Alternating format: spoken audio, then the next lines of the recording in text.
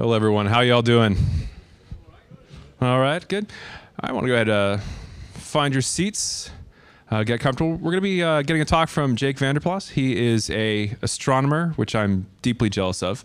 Uh, probably more germane for this in particular, though. He's uh, deeply involved in the uh, scientific Python community and is one of the core developers for my favorite toy, uh, scikit-learn. So, Jake. All right.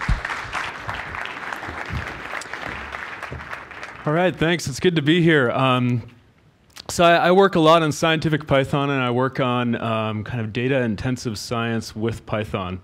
My background is in astronomy, so I, I, do a bit of that. And one of the, the key tools that we use in astronomy for numerical computing, and in all of science actually, is this library NumPy, which you're probably familiar with. If you're not, it's something you should be familiar with. And um, what I want to do today is talk about how to use NumPy effectively to do data intensive computing. And um, there's a couple ways, it's, it's relatively easy to use, but there's some different ways that you need to think about writing your code when you're using NumPy in order to, to use it effectively. So I'm going to go through a few of those strategies. So um, I hope that background is okay. There's not too much green background. Sorry about that. So um, I, I want to start out with saying Python is fast. This is why we use Python, right?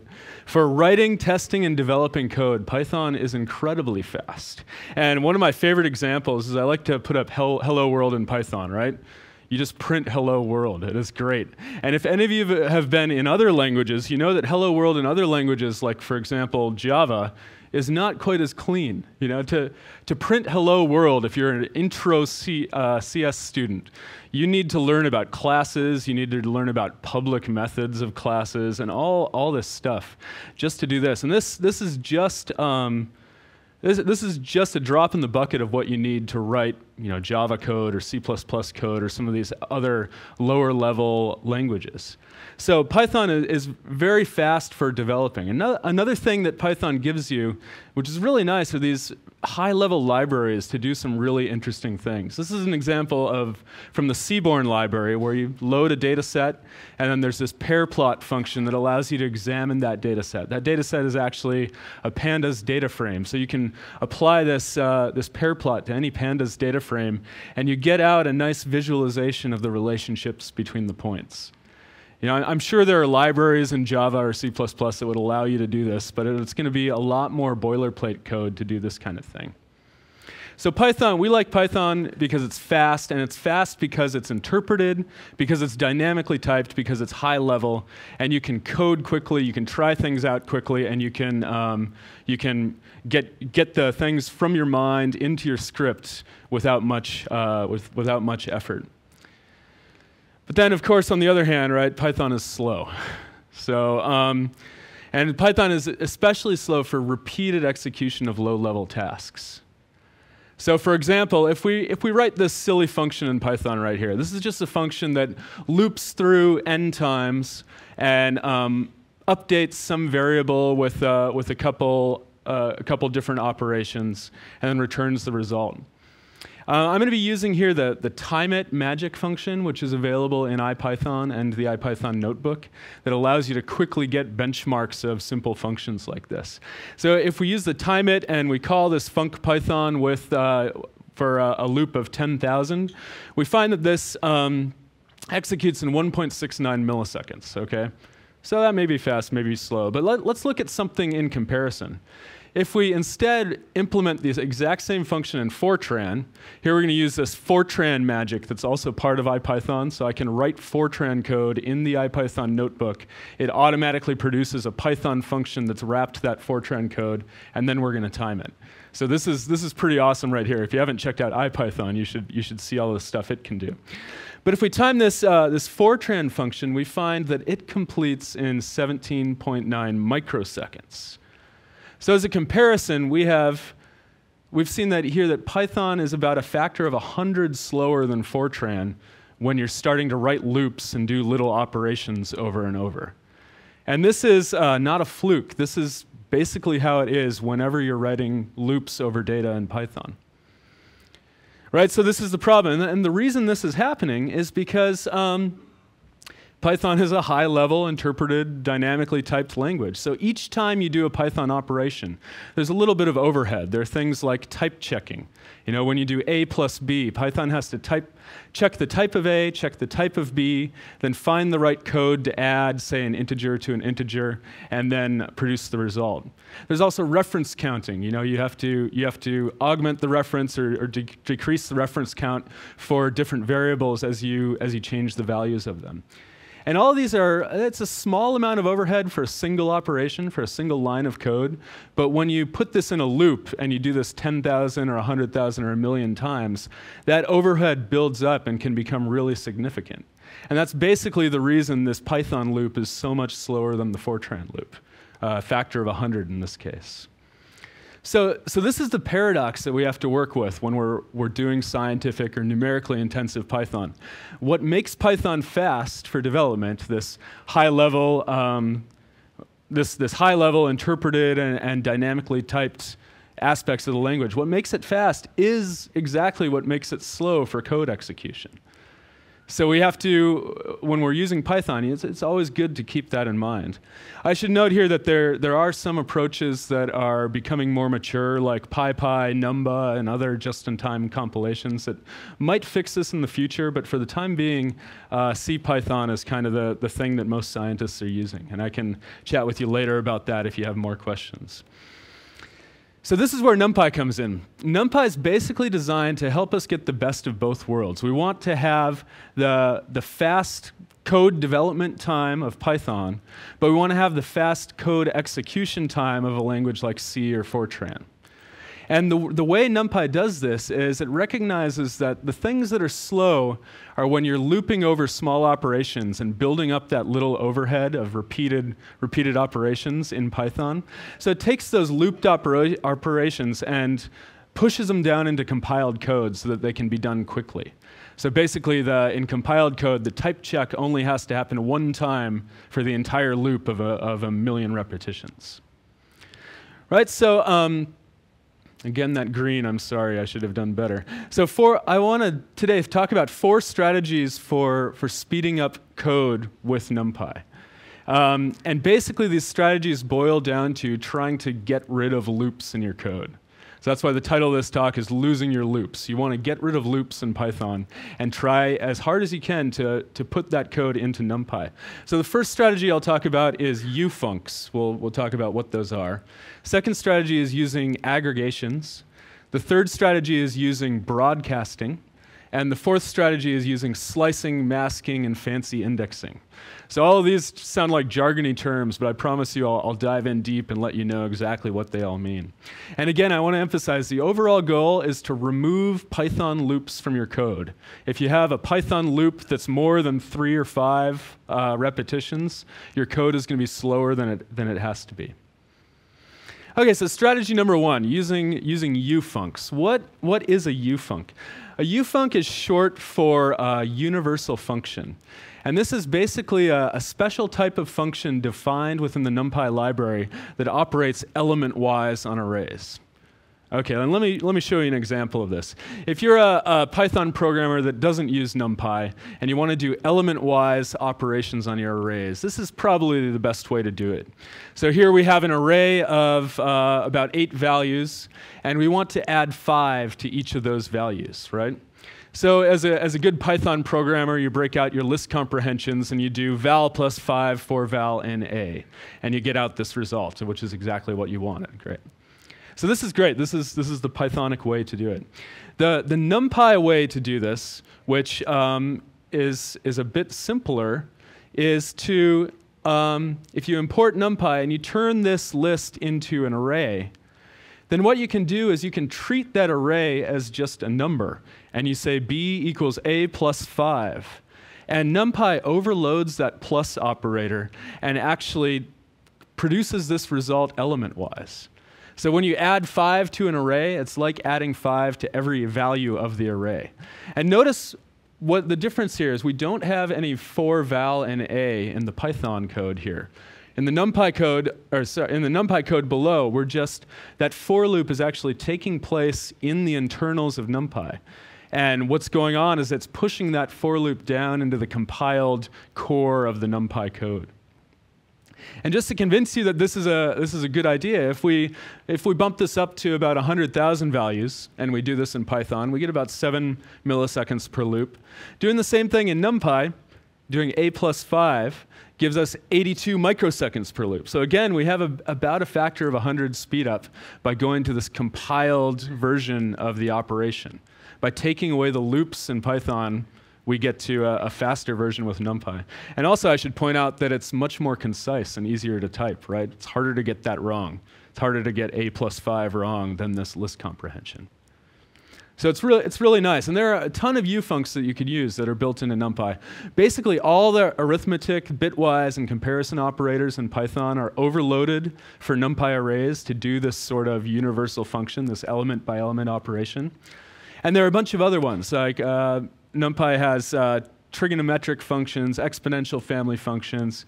Um, in the SciPy package, there are special functions if you want to do things like you know, Bessel functions and gamma functions and all these things that physicists and mathematicians worry about. They're all in there as ufuncs, so you can do them quickly over large arrays. So those are ufuncs. The, the next strategy I want to talk about is using NumPy's aggregations. So what is an aggregation? An aggregation is a function which summarizes the values of an array somehow. So good examples are minimum, maximum, the sum, the mean, the median, uh, these sorts of things. And NumPy has a bunch of these built in. And again, it's something that um, if you were to write it out raw in Python, you could write it with a for loop, right? You could loop over these arrays and do it yourself. But it's much faster to do these min and max and other aggregations in NumPy. So um, just as an example to show you again that NumPy beats Python in this, if we take, here we have a, an, a a list of 100,000 random values, and we're going to see how long it takes Python to get the minimum of those values. And here, you know, it's, it's about two milliseconds. if we do the same thing in NumPy, if we, if we take a, uh, if we convert this list to an array, and then time this c.min, that the, the min method of the array is NumPy's version of the, the min function in Python. And here we got 30.8 milliseconds. So this is, a, again, almost 100, 100 times speed up for using the NumPy code versus the Python code. And I want to emphasize again, the reason it's doing this is because when Python's min function goes through that list, every value it gets to, it has to ask, what's the type of this value? Okay, I'm going to compare that type to the current minimum. What's the type of the next value? And all that overhead multiplied by 100,000 turns into this, um, this slowdown overall. So um, the, the other thing that NumPy's aggregations can do is it can work on multi-dimensional arrays. So um, if you want the sum of an entire array, you can just do m.sum and you get it out. If you want the sum of, say, all the columns in the array, you pass the sum and axis argument. And now instead of looping through the columns and asking for the sum of each one individually, that loop is pushed down into the compiled layer and you have a very fast sum of all rows. So sum axis equals zero gives you the sum of the columns. Sum of axis equals one gives you the sum of all the rows. And you get those answers out quickly. And this, this works for a three by five array. It also works for a thousand by 10,000 array. And it's relatively quick.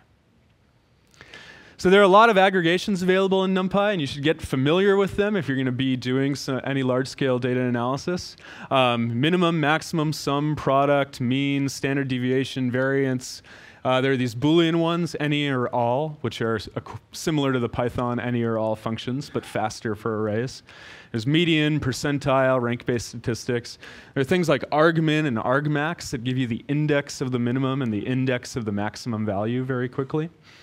And then for almost all of these, there are uh, nanmin and nanmax and nansum that do the same thing but ignore nans, which are the special floating point, uh, not a number marker. And the cool thing here is all these have the same call signature, so you can pass axis commands to them, you can operate on multi-dimensional arrays, and all of them work very, very quickly. So that's the second strategy, aggregations. The, the third strategy that I want to go over is broadcasting. So this is something that's very cool in, in NumPy. What broadcasting does is it gives you a set of rules by which ufuncs operate on arrays of different sizes and dimensions. So, what these set of rules allow you to do is to do things like, for example, add a single digit to a uh, vector, like in that top row right there. We can add a row to a matrix, and it basically adds to every it, it adds to every row along there.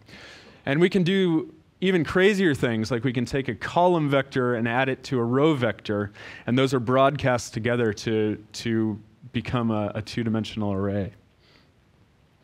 So these, the rules of broadcasting are, are pretty simple, sometimes a little bit confusing. It takes a while to wrap your mind around what's going on, but once you, once you get these down, there's a huge amount of, uh, of operations that you can do really efficiently with these broadcasting rules. So the first rule is if the array shapes differ, you left pad the smaller shape with ones. Then um, you compare the dimensions, and if any dimension doesn't match, you broadcast or uh, kind of expand the dimension that has size equals 1. And if the dimensions don't match, but neither of the dimensions is 1, there's no way to match those together and you raise an error.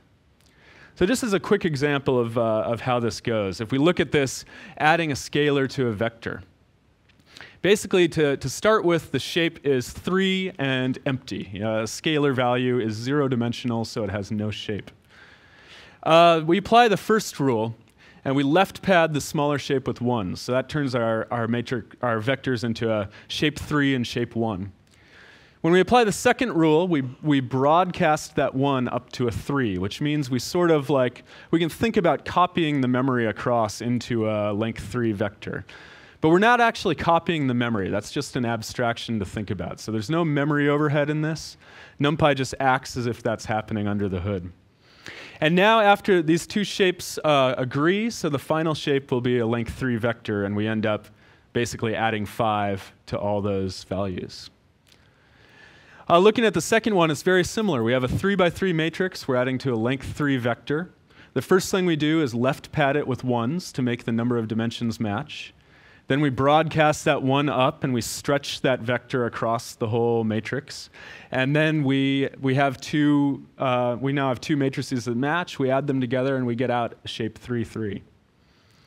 And then the more complicated case are things like this, where we have something that's a 3 by 1 array uh, added to a length 3 vector.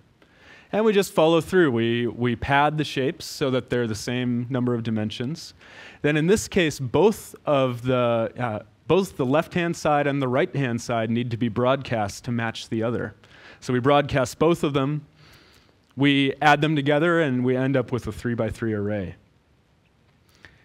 So what this allows you to do is things like, uh, rather than writing loops over one side and another to, to do like outer products and things like this of arrays, rather than writing these loops in Python, you can um, express them with this broadcasting syntax and you get a much faster computation and also much cleaner code. You don't have to worry about loop indexes as you go through these so that was the third strategy. The fourth strategy I want to talk about is slicing, masking, and fancy indexing. So if you're used to, um, to lists in Python, you know that you can index lists with an integer to find a single value. You can index lists with a slice to find multiple values. But that's pretty much the extent of indexing in, um, in, for Python lists. Now you can do the same thing with, with NumPy arrays. If we turn this array, this list into an array, we can now take an integer index. We can ask for L0 and we get back the, that first element. We can ask for a, a slice of the array and we get, get back another um, array that contains those elements. Uh, but NumPy actually offers a lot of other fast ways and convenient ways to do this sort of indexing and to index more complicated chunks of the array and chunks of data. And one of those is masking, and this is, this is actually really, really useful. If you take uh, an array of Boolean values, you can index the you can index an array with another array of Boolean values, and it treats it as a mask. So basically, here the the two lines up with the false, the three lines up with the true, the five lines up with the true, and only the values which line up with trues in that mask are returned by the indexing operation. So this might seem, you know, a little bit like why, why would you need to do this? Where this becomes really useful is when you combine it with uh, some of the U-funcs that we saw earlier. So for example, here we're going to create a mask where we're going to say we want all the places where L is less than 4, so the value in the list is less than 4, and then we use the bitwise OR operator and we say we want places where it's less than 4 or uh, greater than 8. And we apply that mask, and it returns all the values in the list that satisfy those criteria. So now instead of writing a loop over the list and saying, you know, for, for item in list, if item is less than four or item is greater than eight, append it to the result. This just happens automatically. It happens in a couple lines of code, and it's much, much faster than the equivalent uh, Python by hand version. Another, another useful way of uh, accessing elements is fa fancy indexing. And fancy indexing is just basically passing a list or array of index in indices. So if we want the zeroth element, the fourth element, and the second element from the array, we just put those indices in a list and we um, pass that list to the, to the array index and we get out the values. And again, we don't have to write a, a loop over all these indices, we just pass them all at once. And it's much quicker than writing the Python loop. And finally, these, uh, these can all be combined for multiple dimension, multi-dimensional arrays. So multi-dimensional arrays you can access um, by row comma column the indices the, the data that you want. So if we pass 0 comma 1 we're asking for the row 0 and column 1 and that is the value 1 we can go further and we can combine slices and indices. So here we're asking for all rows. The, the colon means an empty slice we're asking for all rows, and we're asking for column number one. So we get 1, 4, which is that, that second column in the matrix. We can even do things like uh, masking on the, these multidimensional arrays. If we, here we're doing kind of a compound operation. We're saying m minus 3, so that's a u-func that applies element-wise. taking the absolute value of that, another u-func which applies element-wise.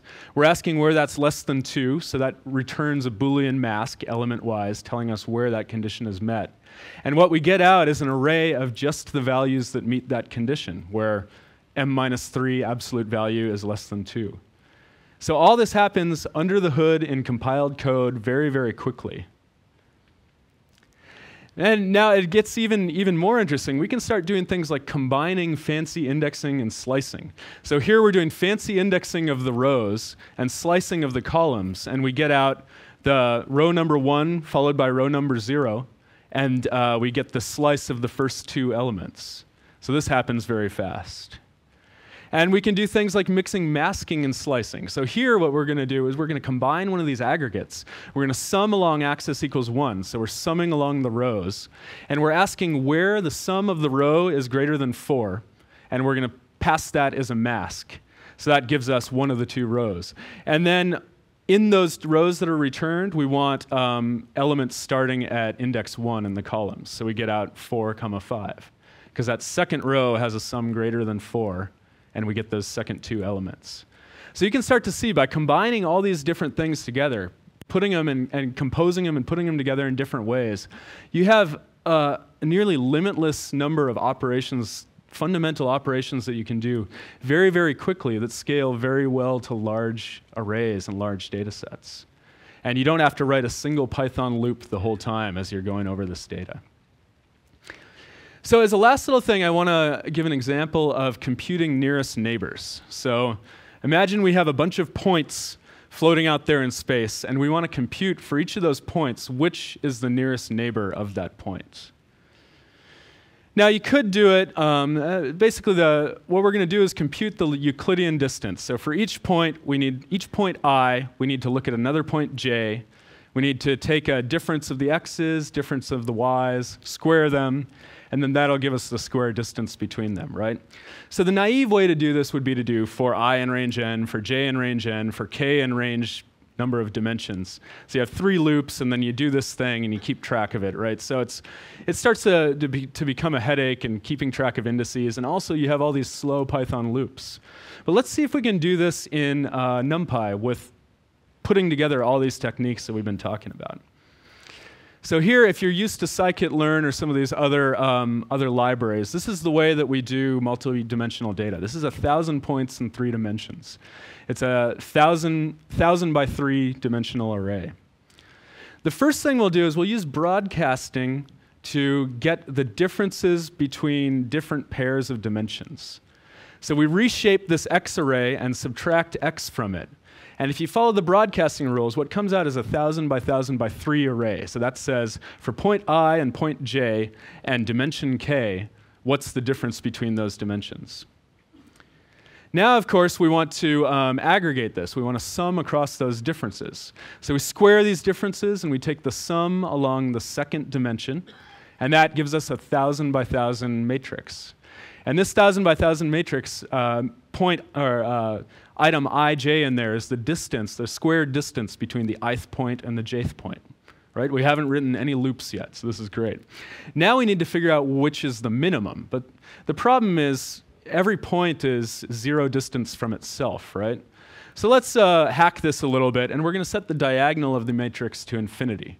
So we can do this with fancy indexing. We want we want 0.00 to be infinity, we want 0.11 to be infinity, and we go all the way through, and we can do that with this arange command. That's very strange. Um, and um, once we have that, we, we want to do a, um, an aggregation across this array. So we ask for not the minimum value, but the argmin. We want to know the index of the minimum value. And we get that out and we get the index of the minimum value, which is the nearest neighbor of every point in this data set. And just to double check that we're doing the right thing, we um, can pull in scikit-learn nearest neighbors and just do the nearest neighbors thing there and we get the same result out. So this shows you that we have, we have just done this huge operation that if you naively did it, it would take a lot of loops. But we did it with just a couple broadcasting and um, ufunc and, uh, and aggregation commands in NumPy, and it'll happen really, really fast. In fact, if you look at the nearest neighbor's code, the brute force algorithm in scikit-learn, this is essentially what it does under the hood. So, uh, in a quick summary, I, want to leave you with this. Writing Python is fast. Writing it and developing in Python is fast, but loops in particular can be really, really slow. So, if you're looping over large data sets, the best thing to do is to use uh, the NumPy package and try to get rid of those loops by using some of these strategies. Using the ufuncs for element wise operations, using aggregations to summarize parts of the array using broadcasting to, um, to combine arrays of different sizes, and then using slicing, masking, and fancy indexing to access parts of arrays very, very quickly. And I'm going to leave it at that. Um, if you're interested in these slides, you can go to my Twitter account, JakeVDP, and about half an hour ago I tweeted a link to the slides on SpeakerDeck, so you should be able to find them there. And I think we have a few minutes for questions, so thank you very much.